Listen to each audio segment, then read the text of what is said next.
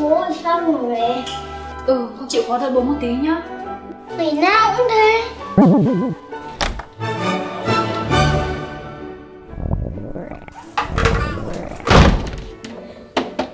Đây là con chứ. Chờ bố thêm. Tí nữa. Thôi, con cố gắng đợi bố một tí nữa nhá. Bố xong rồi đây, vào đây con ơi Một giờ ạ